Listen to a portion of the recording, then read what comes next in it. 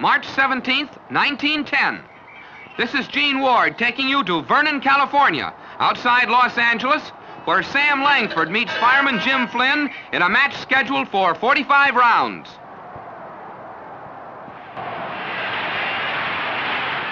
Inside the stadium, the fighters come down the aisle. Sam Langford, wearing a white robe, is first man in the ring. He appears to be full of confidence, having gone all out in training to prepare for this fight.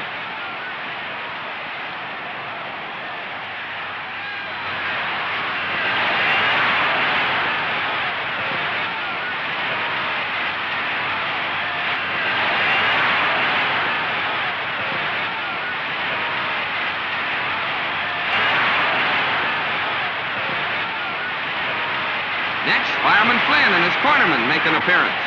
That's Flynn wearing a gaudy robe.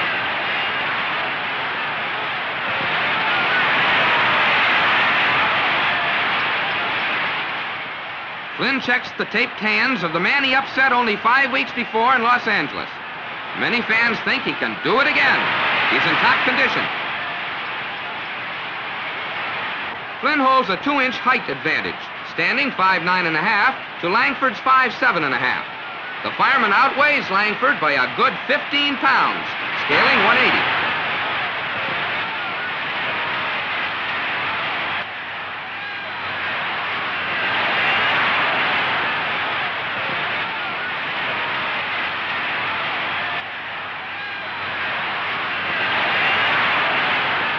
By today's standards, Langford could be called a boxer slugger, or he could fire TNT with either hand. His dynamic fist earned him the Nick Classic. Referee is Charlie Eyton. Both men immediately go to close quarters. Langford has a white sash around his waist.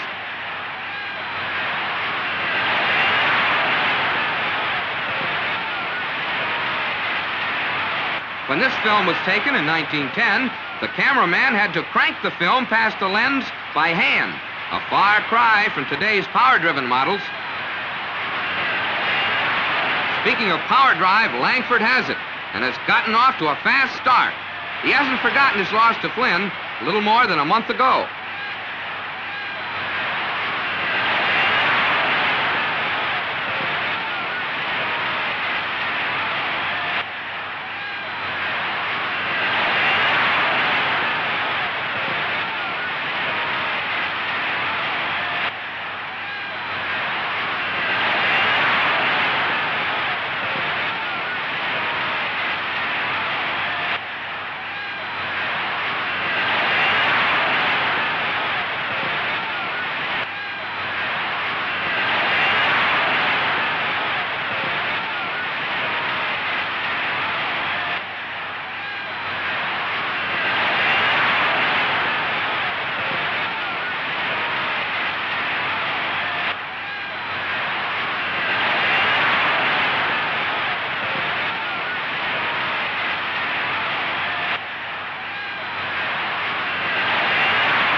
Now Langford begins to cut loose, firing solid shots to the head. A hard right to the jaw makes Flynn hold on.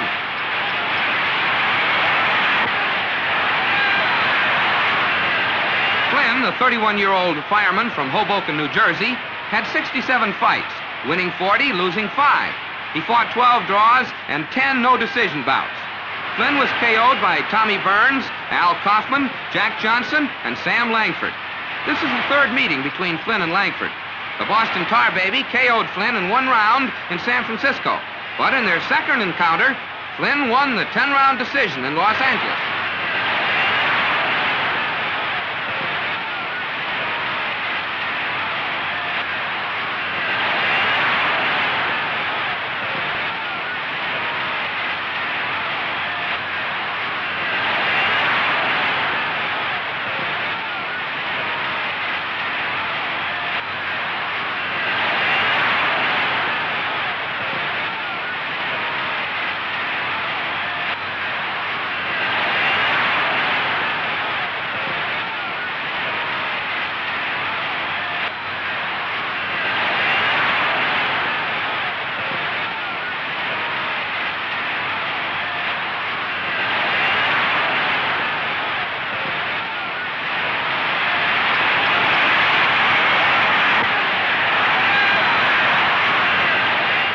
End of round one, Langford has taken the play away from Flynn.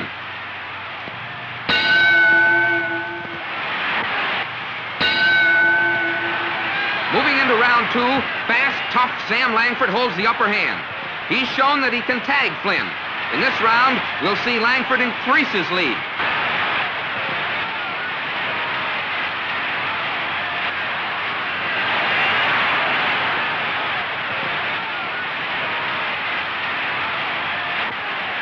Notice how Langford cracks Flynn's defenses by not allowing Flynn to tie him up. Langford likes to punch at long range where he can use a variety of blows. Although Langford is six years younger than the 31-year-old Flynn, he's had the greater experience.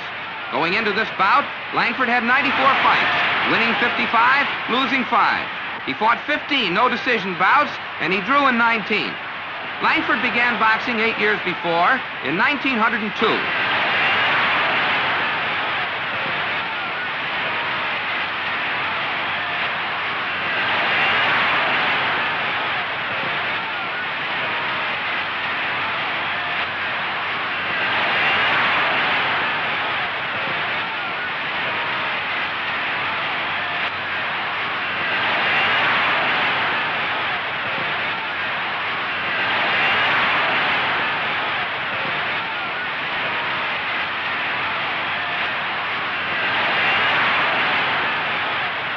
In the final seconds of round two, the Boston Terror gives Flynn little rest. Langford's solid punching easily carried him through rounds three and four. And now round five of the scheduled 45-round contest. Langford has applied constant pressure since the opening bell. He wants to keep Flynn at long range, where he can make full use of his tremendous punching power.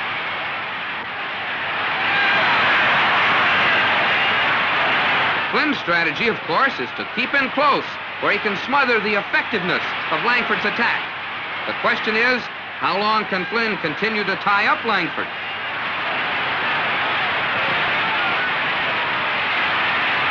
Before this fight, Langford trained at the Naud Junction Fight Club in Los Angeles. Sam never had any pre-fight plans. He simply went into a ring determined to belt his man out, and fast, too.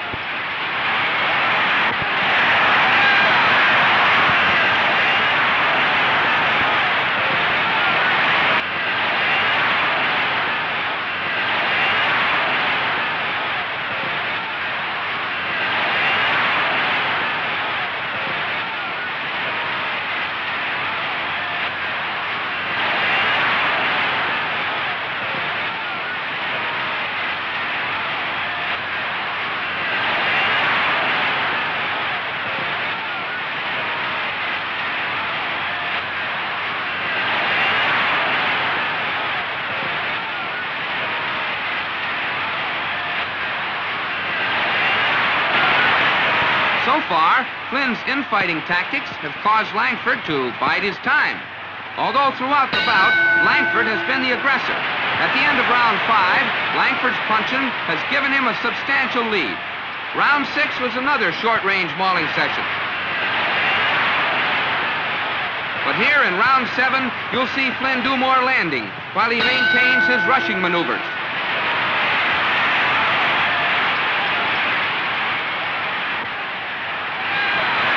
Flynn making good use of his weight advantage here.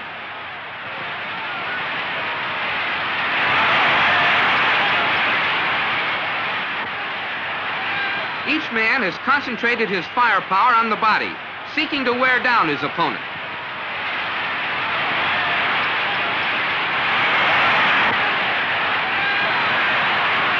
Langford's reputation as a giant killer grew by leaps and bounds. Jack Johnson KO'd Flynn in 11 rounds in 1908, but Langford stopped Flynn in one round in their first fight, beating Johnson's time. Four years before this bout, Langford lost a 15-round decision to Jack Johnson in Chelsea, Massachusetts. Both men suffered knockdowns in that fight, but young Langford only weighed 148 pounds to Johnson's 184. Langford tried to get a return match with Johnson, but they never got together.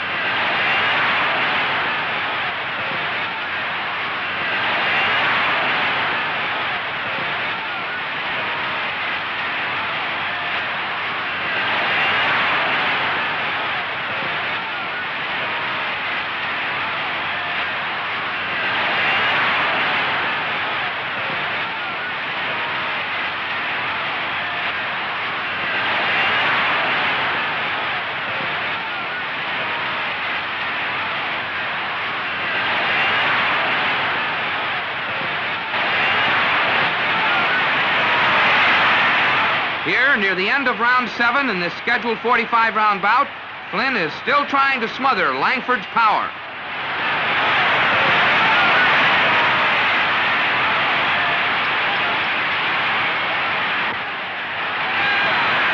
Langford slips, but he bounces right up and goes back to the attack.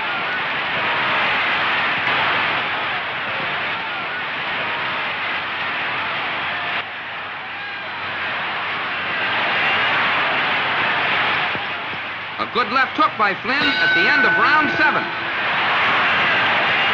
Langford's out in front by a wide margin. In round eight, watch for the knockout.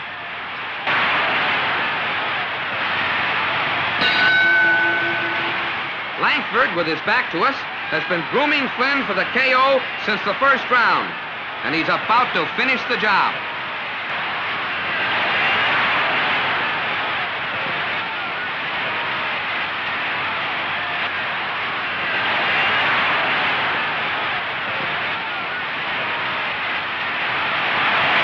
Watch.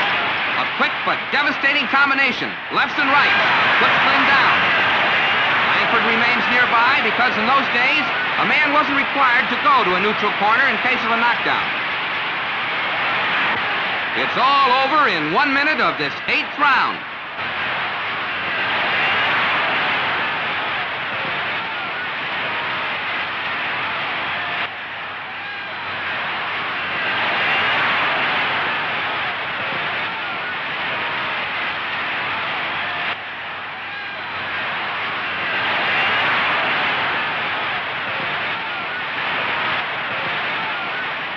Flynn fought a game battle. He came into the ring full of high hopes and great confidence. After all, it was only five weeks before that he won a decision over Langford. Flynn was in top condition, and according to the local California newspaper of the time, he was said to be in better health than ever before in his career.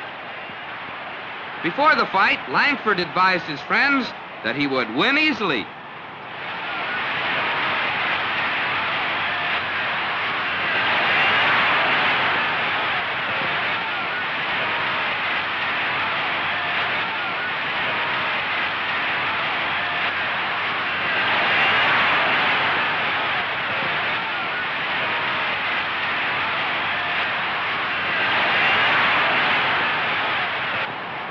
Flynn, being revived in his corner, absorbed a terrific barrage in that eighth round.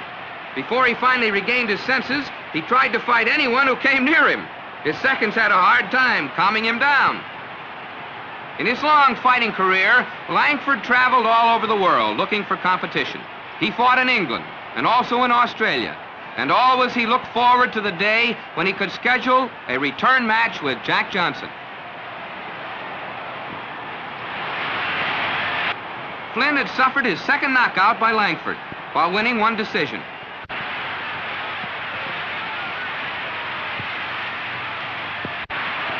Then in 1923, Langford and Flynn met for the fourth time in Mexico City, and Langford stopped the fireman in the third round. It was Flynn's last fight.